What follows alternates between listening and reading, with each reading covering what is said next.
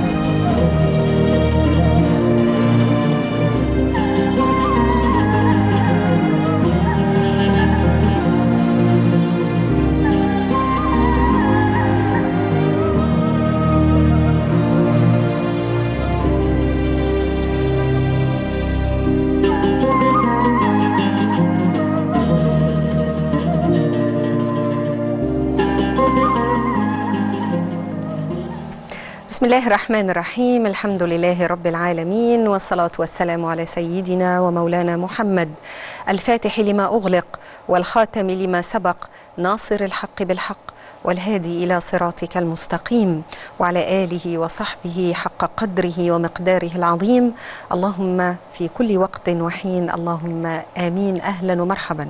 بكل السادة المشاهدين الكرام مشاهدي قناتنا قناة أون ومشاهدي القناة الأولى المصرية ومشاهدي كذلك الفضائية المصرية وأهلا كذلك بكل مشاهدينا في كل مكان بالحلقة الأسبوعية المخصصة للرد على أسئلة حضراتكم واللي بنتشرف باستقبالها على صفحتنا الصفحة الرسمية لبرنامج قلوب عامرة مع الدكتورة نادي عمارة. دي ده اسم صفحتنا ودي صفحتنا. بنذكر حضراتكم إحنا بنلتقي وإياكم من السبت إلى الأربعاء. من السبت للثلاث بنكون في رحاب التفسير الموضوعي لسور القرآن الكريم النصف الأول من الحلقة والنصف الثاني من الحلقة. بنكون في رحاب استقبال تليفونات حضراتكم. على الهواء مباشرة وقدر الطاقة بنحاول نجاوب على أغلب الأسئلة في ذات الحلقة. ويوم الأربع هو المخصص للرد على أسئلة حضراتكم اللي بنتشرف باستقبالها على صفحتنا واللي بنجاوب عليها من خلال الشاشة. مش بجاوب من خلال أي صفحات وبنبه إلى ذلك كثيرا عشان الصفحات الكثيرة المزيفة المنسوبة إلي اللي بترد على الناس. كل الأسئلة بنستقبلها على الصفحة بنجاوب من خلال الشاشة. ده بالنسبة للي بيحب يراسلنا أو يبعت الأسئلة مكتوبة من خلال صفحتنا الصفحة الرسمية. وكمان يوم الأربع بنعرض فقرتنا المباركة فقرة كتاب قلوب عامرة برواية حفص عن عاصم بقصر المنفصل. ونبدأ مع حضراتكم أول سؤال معانا النهارده. هل يجوز عمل عمرة لأكثر من شخص علما بأنني حجيت واعتمرت كتير والحمد لله؟ وأتمنى من الله تعالى القبول. أنا أريد إهدائها لوالدي ووالدتي وإخواتي لأني أخاف أنه ينتهي عمري دون القيام بهذا الإهداء. ولا أستطيع عملها لكل منهم على انفراد لكبر سن. مع الشكر. والاحترام. شكرا لحضرتك. وربنا يبارك في عمرك ويجزيكي كل الخير إنك أنت بتفكري في صنيع الخير للغير.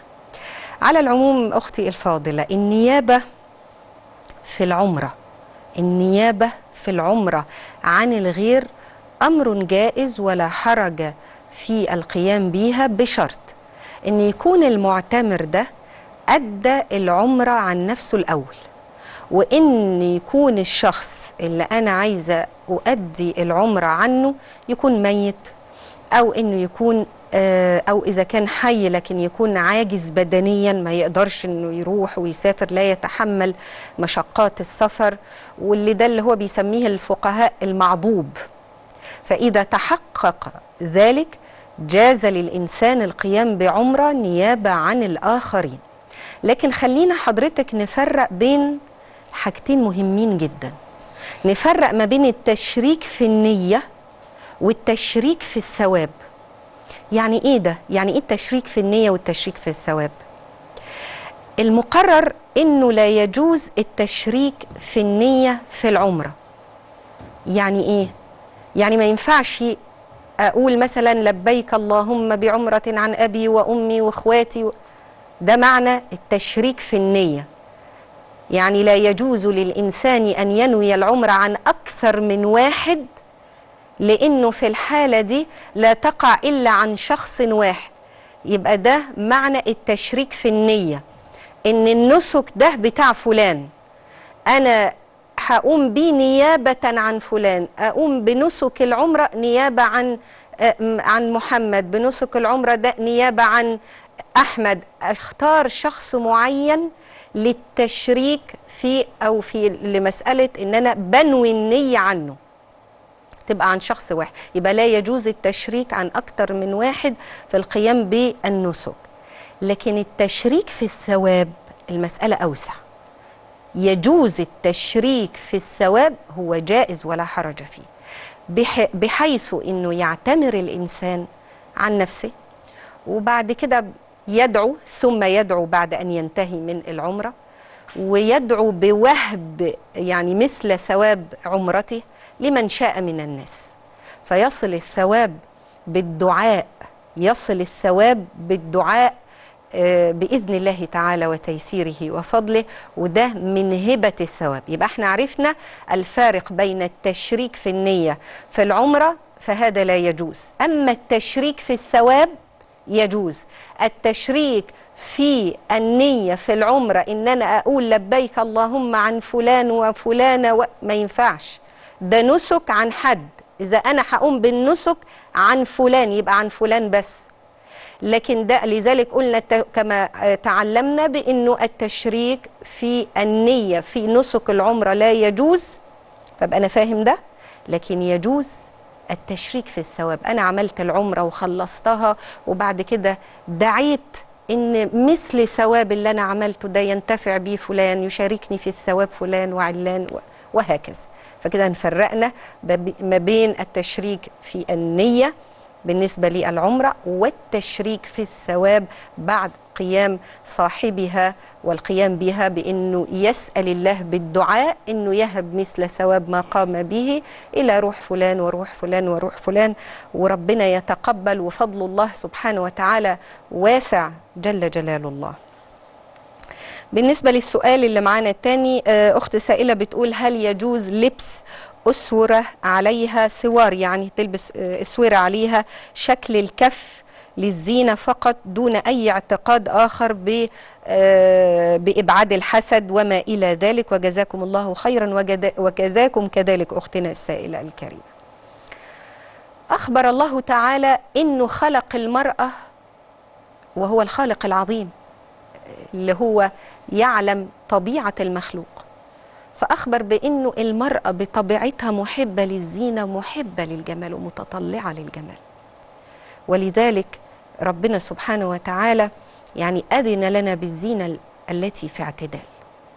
ولأن ربنا خلق المرأة محبة للزينة ومحبة ومتطلعة إلى ذلك وصفها بالتنشئة في القرآن الكريم وصفها بالتنشئة في الحلية. فقال سبحانه وتعالى أو من ينشأ في الحلية وهو في الخصام غير مبين. فكان ده دليل على استحباب التزين والتجمل في حقها في اعتدال وانضباط. وعشان كده أباحت الشريعة للمرأة إظهار وجهها وإظهار كفيها وما يظهر فيهما من زينة كذلك. بالنسبة بقى للبس المرأة لأسورة عليها شكل الكف اللي هي في الفلكلور أو في الثقافة المصرية والعربية موجودة من ضمن الرسومات الموجودة. هي ليها انصراف ثقافي معين في عقول الناس. لكن أنا هلبسها أنت بتسألي إن أنا ينفع ألبس هذه الأسورة اللي هي على شكل كف هل ده جائز ولا لأ؟ تقدري هذا جائز شرعا ولا شيء فيه ما دام ده أنت بتلبسيها والأمر خالي في قلبك من وجود أي اعتقاد في إن الكف ده هيأثر في الكون أو هيبعد عنك حاجة وما يقع في الكون كله من شيء إلا من جهة الخالق سبحانه وتعالى. مجرد أنا لابساه عاجبني شكله آه، بحب ال- الشكل ده مش مرتبط معايا باعتقاد معين ان الكف ده يأثر في الكون أو معرفش يجلب لي حاجة أو يدفع عني شيء.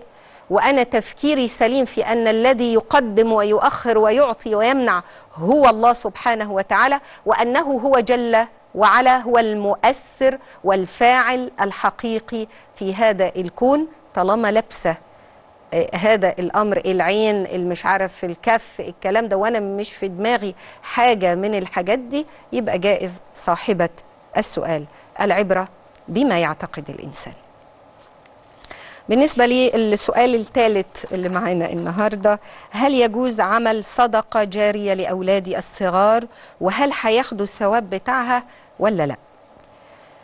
أولا آه، الصدقة الجارية اللي هي إيه؟ الصدقة الجارية دي في حقيقة الأمر هي عين الوقف بمعناها الفقهي.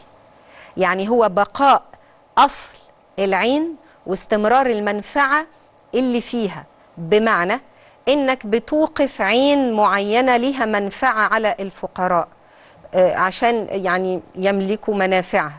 وتبقى العين دي موقوفة ما, يعني ما ينفعش إنها تتباع ولا حد يتصرف فيها ولا حد يتملك يعني مثلا أنا عندي بستان البستان ده بيطلع آه عندي.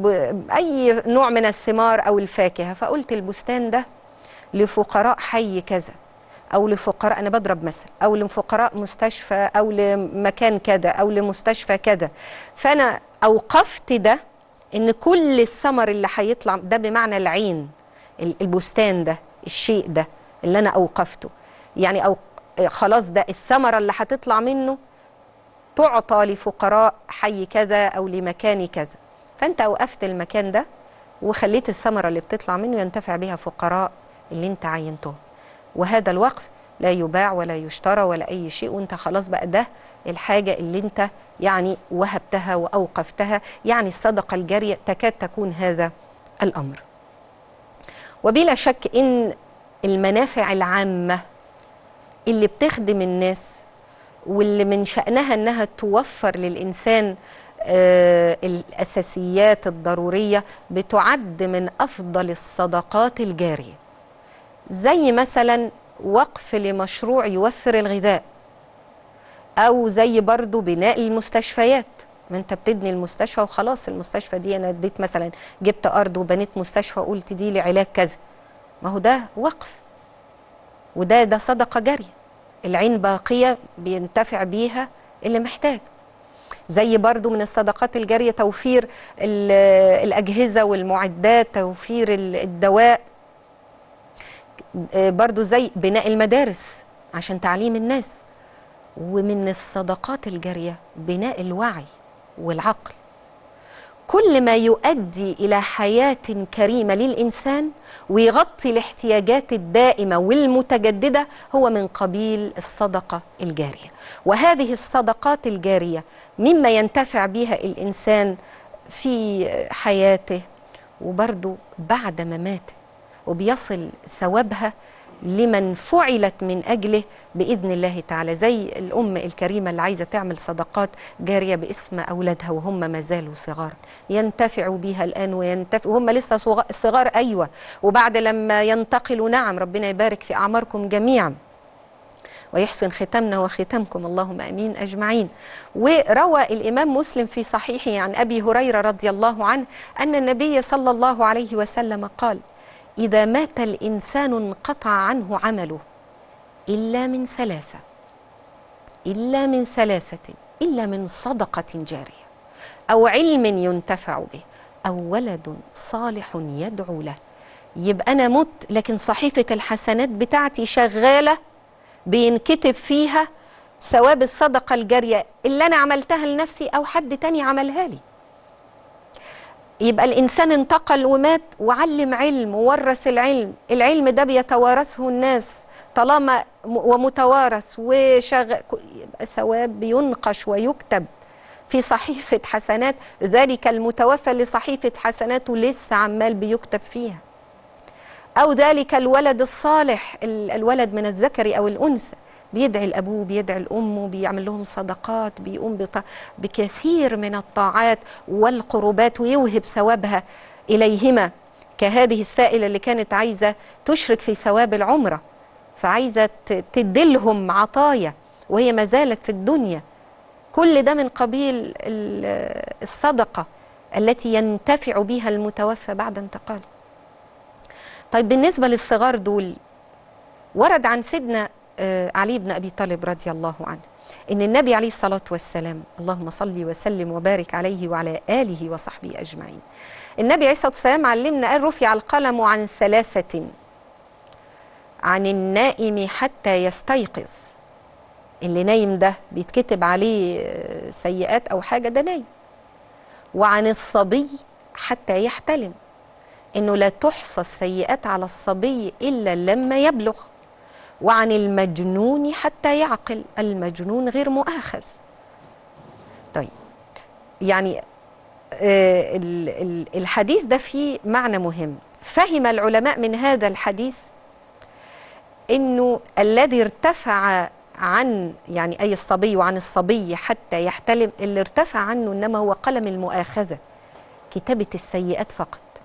وأما قلم الثواب فليس بمرفوع عن الصبي وإنما يكتب له ما يفعله من خير وكذا ما يفعله عنه غيره. يعني إيه؟ أنا النهارده ابني ده الصغير بعلمه إزاي يصلي أو بنتي الصغيرة. ولدي ذكرا كان أو أنثى. أنا بعلمهم الصلاة بعلمهم التسبيح بعلمهم الصلاة والسلام على سيدنا رسول الله عليه الصلاه والسلام بعلمهم الذكر. بعلمهم الآداب والسنن اتباعا لحضرة النبي عليه الصلاة والسلام. بعلمهم قراءة القرآن. بعلمهم السنن. طب وهم بيعملوها وهم صغار هل بتتكتب لهم؟ نعم. يكتب للصغير ما يصنعه من الخير ولا يكتب للصغير ما يصنعه من الشر. الصغير لا يكتب له إلا إذا احتلم إلا إذا بلغ آه، كبر. لكن الحسنات تكتب له. فاللي حضرتك ما تقومين أو ما سوف تقومين به من آه، إجراء الصدقة أو القيام بعمل صدقة جارية عن هؤلاء الصغار نعم سيدتي الفاضلة يصل ثوابه إلى هؤلاء الصغار وينتفعون بها في الدنيا والآخرة حتى وإن كانوا من دون سن التكليف الشرعي. وجزاك الله خيرا. على آه، يعني الإرادة الطيبة لنفع من حولنا وبالذات الصغار.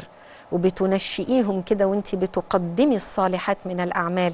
اللي عايزة توهبي لهم أو اللي انت عايزة كمان يجري القلم بالحسنات وهم منذ نعومة أظفارهم فهنيئا لهم وجزاك الله تعالى كل خير.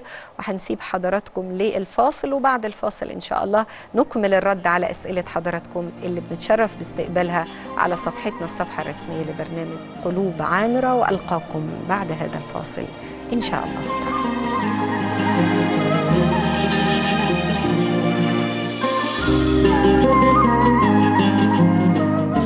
اللهم اجعل هذا البلد آمنا وسائر بلادنا. وارزق أهله من الثمرات من آمن منهم بالله واليوم الآخر. اللهم اجعلنا مسلمين لك واجعل ذريتنا أمة مسلمة لك. إنك أنت التواب الرحيم.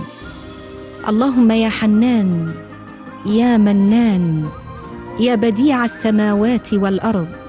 يا ذا الجلال والإكرام والطول والإنعام والعفو والإحسان والمنن والرضوان من علينا بنعمة الأمن والأمان والهداية والإيمان وأدم علينا نعمة السلامة والسلام والعافية والتيسير والتوفيق على الدوام واحفظنا واحفظنا بحفظك الذي لا يرام. يا خير الحافظين ويا مجيب السائلين. وآخر دعوانا أن الحمد لله رب العالمين. وصل اللهم وسلم على المبعوث رحمة للعالمين. اللهم آمين. آمين.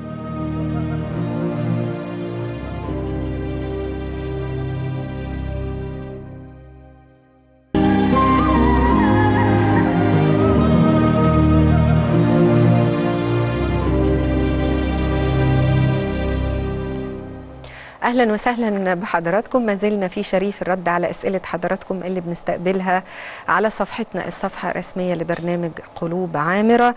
ومعانا سؤال كريم من سائلة كريمة أغلب الأسئلة من السيدات النهارده. آه، بتقول سؤالي عن طلاق الأظافر آه، المسمى الحلال. هل فعلا يمكن وضعه والوضوء عليه جائز؟ هو هو مش بيتسمى الحلال هو بيتسمى ال- اللي بيتنفس بريدبل يعني اللي هو بيسمح بإنه الظفر يتنفس من تحته فهم يعني عشان يروجوا للمنتج فيقول لك حلال أو يقول لك إسلامي لكن هم عاملينه أو الشركة اللي عاملاه على أساس إنه يبقى حاجة صحية مش بتمنع الهواء عن أو إنه يتنفس ال- الظفر آه، حتى بعد وضع هذا الطلاق.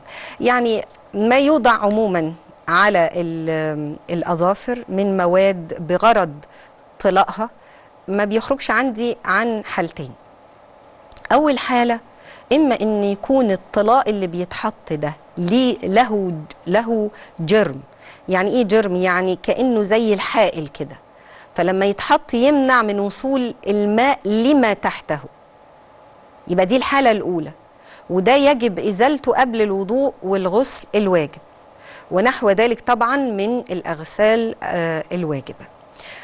والحالة الثانية لطلاق الأظافر إن هو إنه ما يكونش له جرم يعني يكون بينفس الحاجة الظفر تحته. فلا يمنع من وصول الماء لما تحته. وده لا تجب إزالته لا عند الوضوء ولا الغسل. وبناء على آه، ذلك إذا كان الطلاق الأظافر يعني إذا ثبت لحضرتك آه، إنه بالتجربة كون هذا أو كون طلاق الأظافر ليس له آه، جرم يعني ملوش مش عامل زي الحائل كده أو ثبت إنه ملوش جرم ولا يمنع من وصول الماء للعضو حال الوضوء والغسل فلا يجب على حضرتك إزالته ويجوز الوضوء والاغتسال في وجوده ويكون الأمر صحيحا. وهذا الأمر إحنا بيناه بناء على ما اخبرتي حضرتك في السؤال الذي معنا. وهذا ما كذلك ما عليه الفتوى. هنسيب حضراتكم مع فقرتنا المباركة فقرة كتاب قلوب عامرة. والفقرة دي إحنا بتتعرض في شهر رمضان المبارك يومياً. وإحنا ماشيين بترتيب ال- المصحف مع الأطفال من جزء عامة فصاعدا. والرواية اللي بنقرأ بيها في الكتاب هي رواية حفص عن عاصم بقصر المنفصل. بنتعلم أو بنأكد في الأسلوب بتاعنا في التعليم فيها إنه على الطريقة البسيطة وبنستعمل طريقة التلقين اللي هي الأساس في تعلم كيف يتلى القرآن الكريم. الأمر بسيط ما فيهوش تنظير ما فيهوش تعقيد. قدر الطاقة بنقول المعلومة قدر الطاقة في سلاسة. أهم شيء معانا في الكتاب هي طريقة التلقين عشان المشاهد الكريم يتدرب معانا. وماشيين بالراحة على مهلنا وربنا بس يبارك. الأمر ويتقبل منا. وإزاي ننطق الحروف صح؟ إزاي الأحكام بتكون بمنتهى البساطة. وإحنا تدريجيا لما بيكون في معلومة عايزين نضيفها يعني تكون شوية محتاجة بيان. فكل سنة بندي حاجة كده يعني زيادة ربنا يتقبل وييسر الأمر.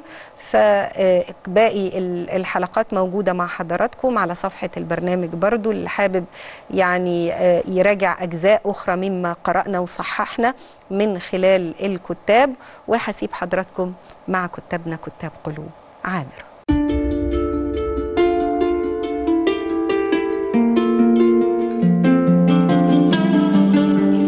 كتاب قلوب عامرة الفكرة الأساسية بتاعته إزاي نعلم الناس كيف يتلى القرآن الكريم بطريقة يسيرة مبسطة على الجميع. إحنا بنعتمد في الأساس فعلا على طريقة التلقين وده بيجي من خلال إنه بيقرأ فبيبقى فيه بعض الأخطاء فبنصحح الأخطاء ونذكر بالقاعده طفل معاك أنت طالما بتحببه في الأمر بيستجيب بسرعة جميلة لأن القرآن ميسر للذاكرين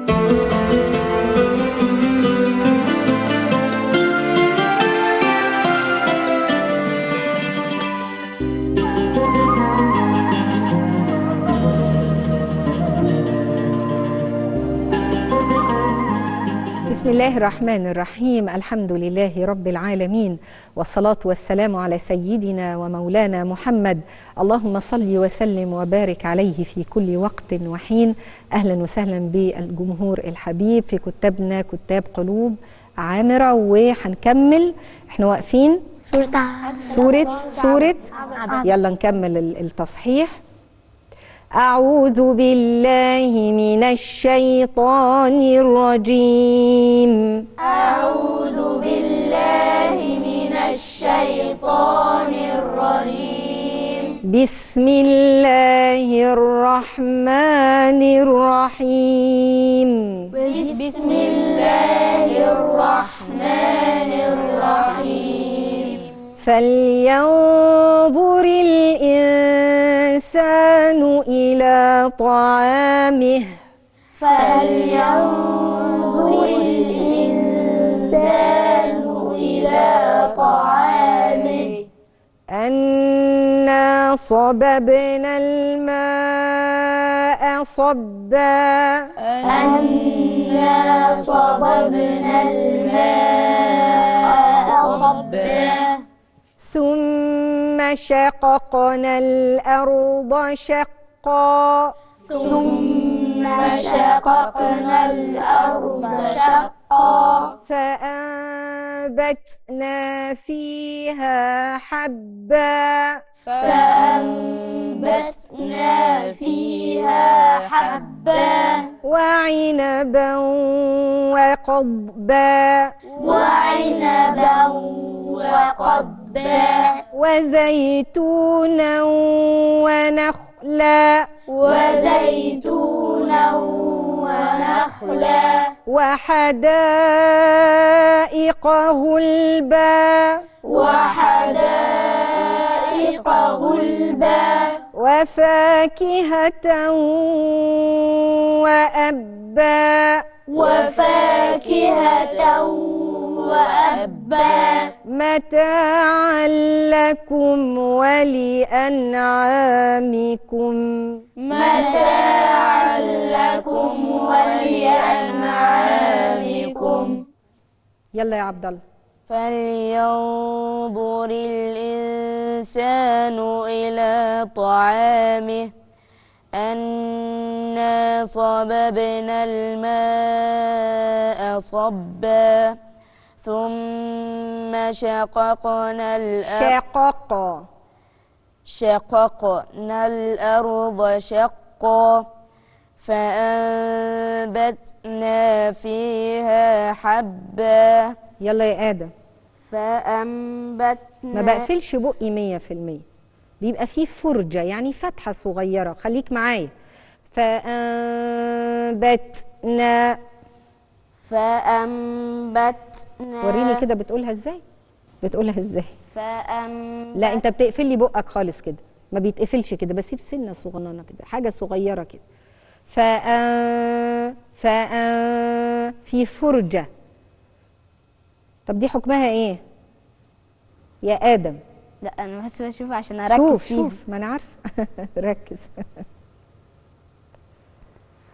ها؟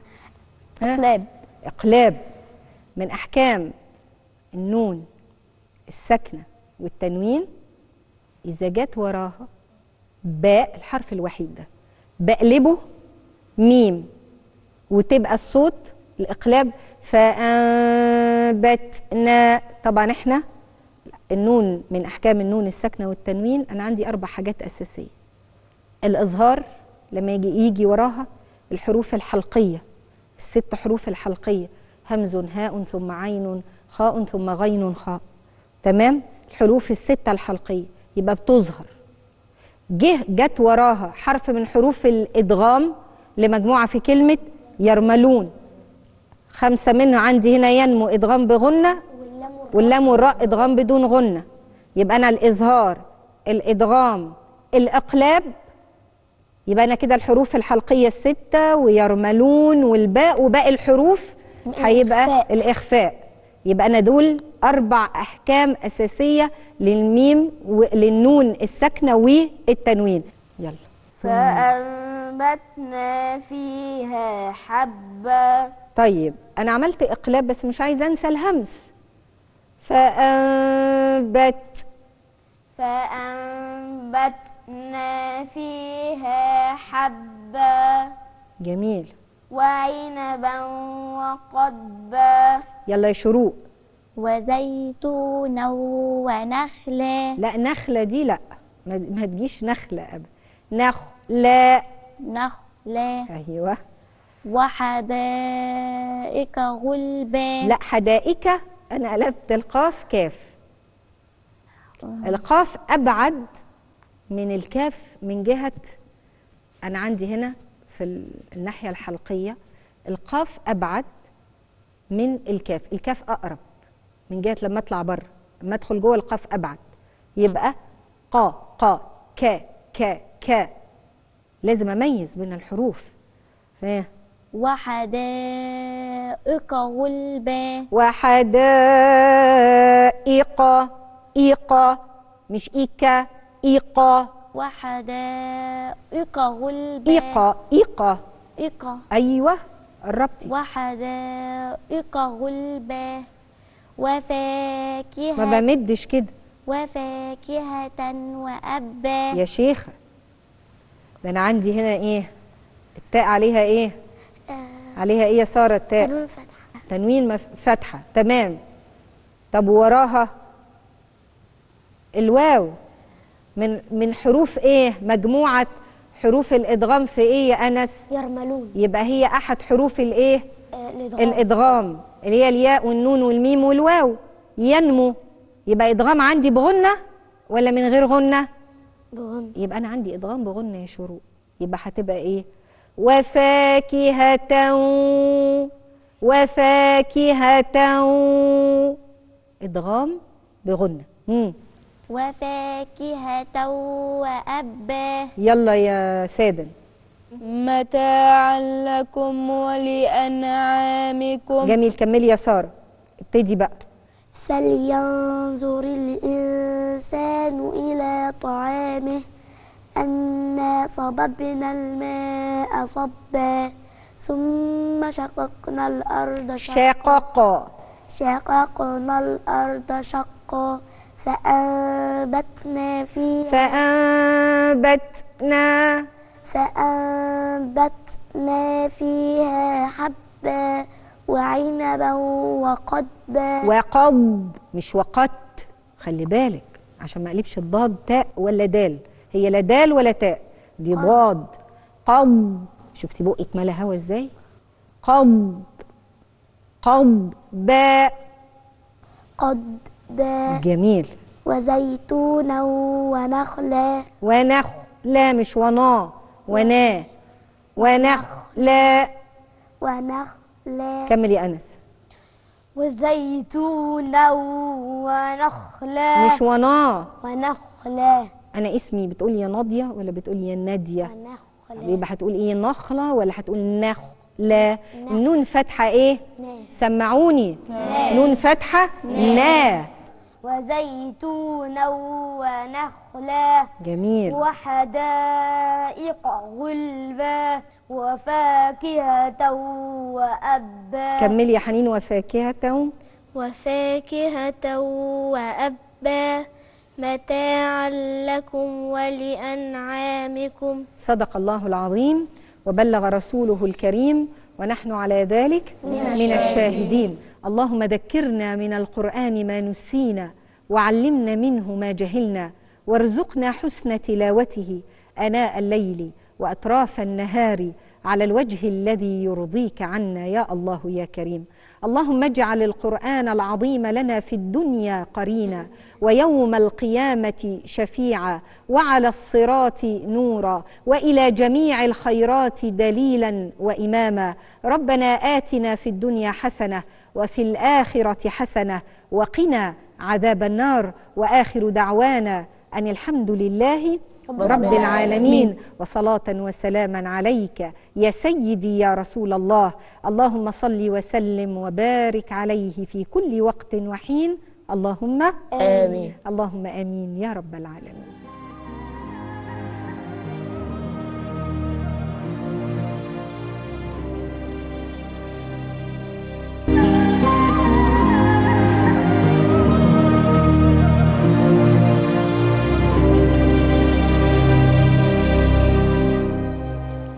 أهلا وسهلا بحضراتكم. في أخ سائل كريم بيقول في سورة البقرة في قول الله تعالى وإذ قال ربك للملائكة إني جاعل في الأرض خليفة. قالوا أتجعل فيها من يفسد فيها ويسفك الدماء ونحن نسبح بحمدك ونقدس لك؟ قال إني أعلم ما لا تعلمون. فهو بيقول إزاي؟ آه إنه الملائكة الكرام عرفت إن الإنسان هينزل الأرض يفسد فيها وهيسفك الدماء مع إن ده المفروض غيب ولا يعلمه إلا الله. الحقيقة ال ال ليس في الآية الكريمة ما يدل على علم الملائكة للغيب. إنما غاية ما تدل عليه الآية الكريمة إن الملائكة الكرام فهموا إن مراد الله تعالى من خلافة الإنسان في الأرض هو الطاعة وزي ما قال العلماء لأن العلماء في تفسير هذا الأمر قايلين كلام رائق وجميل كتير اجتهدوا لفهم هذا المعنى إن هم عارفين طالما الخلافة تقتضي يعني إنه هيفصلوا بين الناس والناس دول أو هيفصلوا بين الخلائق يعني هيبقى في عصيان وهيبقى فيه طاعة ولأنهم الملائكة كمان عارفين أنه المخلوق ده هيبقى عنده حرية إرادة. يعني يقدر يعمل الخير ويقدر يعمل الشر وربنا سبحانه وتعالى خلقه حر الإرادة يستطيع أنه يختار طريق الخير ويمشي فيه ويستطيع أن يختار طريق الشر ويمشي, فيه. وطالما هذا المخلوق لديه هذه القدرة يبقى هيبقى فيه عصاة وهيبقى فيه طائعين هيبقى فيه مؤمنين وهيبقى فيه غير مؤمنين. فهم حللوا الأمر ده بعقل بعقولهم النورانية لأنه الملائكة كائنات طائعة لله تعالى وفي نفس الوقت لديها عقول وتفهم. فهي فهمت إنه طالما هم هيكون لديهم بالطبيعة الخلقية من طين وروح وينفخ فيهم من الروح وإنه ربنا سبحانه وتعالى وهبهم هذه العطايا بهذه القدرات يبقى انه هيكون من هؤلاء الخلق من سيكون أهل طاعة ومن سيكون أهل معصية. وبالتالي هيكون في أنواع من الصراع وهيكون في قتل وهيكون في حروب وهيكون في وهكذا. ففهم الملائكة وفهم الملائكة الكرام ذلك بالاستنتاج. وقاسوا آه كمان يعني طبعا الملائكة هم خلق لا يعصون الله تعالى. هم خلق لا يعصون الله تعالى فيما أمره. الملائكة الكرام مخلوقات نورانية بطبيعتها لا تعصي الله تعالى فيما أمرهم به ويفعلون ما يؤمرون.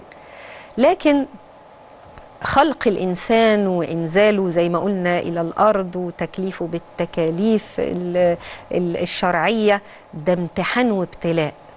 يصيب أو يخطئ. عشان يعرف والله يعلم سبحانه وتعالى. يعرف المطيع من العاصي كل واحد يبقى الدليل والحجة عليه لكن الله سبحانه وتعالى يعلم. ويعرف كل منا من الصالح ومن الطالح. وعشان كده الملائكة لما بتستفهم عن الأمر الملائكة لا تعترض. قالوا أتجعل فيها من يفسد فيها ويسفك الدماء ونحن نسبح بحمدك ونقدس لك؟ ليس اعتراضا وإنما استفهام. عايزين يفهموا. ليه؟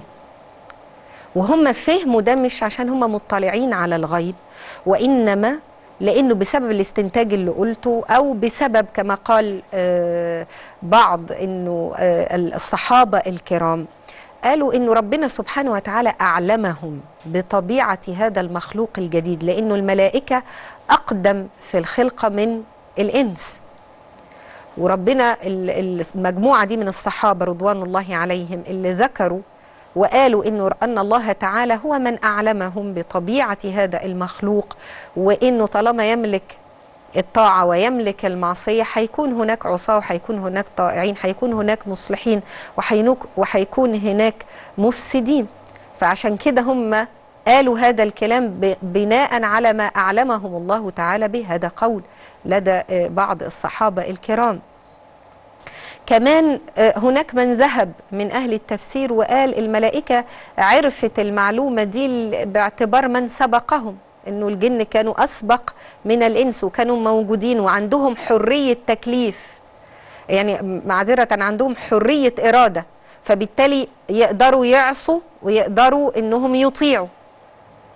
ف وكان منهم مشاكل وكان منهم كما سيقع من بني آدم فاستنتجوا برضو من هذا. كل الآراء دي مقبولة لكن ليست الآية فيها دليل على آه، معرفتهم الغيب. يا صاحب السؤال وبدليل إنه كمان آه، لما حبت الملائكة أو أراد الملائكة الكرام إن هم يستفهموا يعني طالما هيكون منهم كيت وكيت يعني ليه ليه يحبوا يتعلموا؟ جاء تذيل الآية الكريمة قال إني أعلم إيه؟ ما لا تعلمون والمعنى ده زي ما قال أهل التفسير إنه سبحانه وتعالى يعلمهم ويعلم الملائكة إني أعلم من المصلحة الراجحة في خلق. هذا الصنف من الخلق اللي هم البشر. ما يفوق على المفاسد اللي أنتوا قلتوا عليها وذكرتوها ويفوق ما لا تعلمون أنتم. فربنا سبحانه وتعالى هيخلق الخلق هيكون منهم صفوة هيكون فيهم الأنبياء وإنه هيرسل فيهم الرسل. وبعد كده يوجد منهم الصدي... أهل الصديقين والشهداء والصالحين والعباد والأولياء والزهاد والأبرار وأهل القرب وأهل المحبة والع... وأهل الإخلاص. فهيكون منهم عباد مخلصين بمختلف صورهم. اللي هيكونوا متبعين للرسل الكرام وبيقوموا بالأوامر الربانية.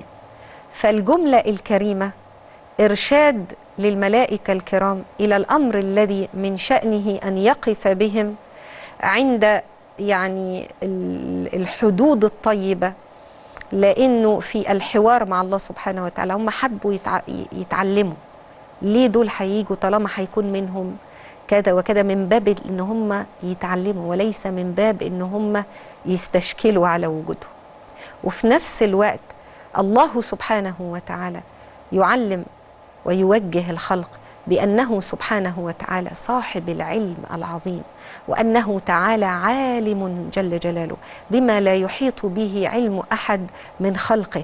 فله سبحانه وتعالى أن يفعل ما يشاء ويأمر بما يشاء فهو الله الحكيم. كل فعل من الله تعالى لا يخلو من حكمة. عرفها من عرفها وجهلها من جهلها فهو الله تعالى العلام العالم العليم الحكيم جل جلال الله تعالى. وده كان آخر سؤال معانا ونسأل الله سبحانه وتعالى القبول وربنا سبحانه وتعالى علمنا ووجهنا وإذا سألك عبادي عني فإني قريب أجيب دعوة الداعي إذا دعان فلنتوجه إلى الله سبحانه وتعالى. داعين راجين. يا الله يا رحمن يا رحيم. يا حي يا قيوم. يا ذا الجلال والإكرام. والطول والإنعام. اللهم إنا نسألك بمحمد نبيك وإبراهيم خليلك وموسى كليمك وعيسى نجيك وروحك. وبتوراة موسى وإنجيل عيسى وزبور داود وفرقان محمد صلى الله عليه وسلم. وبكل وحي أوحيته نسألك. نسألك نصرا عزيزا. نسألك فتحا مبينا. نسألك عزا عظيما. يا من بيده ملكوت كل شيء. إنك على كل شيء قدير. نسألك. نسألك يا الله العفو والعافية. والمعافاة الدائمة في الدين والدنيا والآخرة. اللهم ادفع عنا كل الفتن والآفات. اللهم ادفع عنا كل الفتن والآفات. اللهم ادفع عنا كل الفتن والآفات. واقضي لنا يا مولانا في الدنيا والآخرة جميع الحاجات. ستر العرش مسبول علينا وعين الله ناظرة إلينا. بحول الله لا يقدر علينا. بحول الله لا يقدر علينا. بحول الله لا يقدر علينا. والله من ورائهم محيط. بل هو قرآن مجيد في لوح محفوظ. فالله خير حافظا وهو أرحم الراحمين. إن ولي الله الذي نزل الكتاب وهو يتولى الصالحين.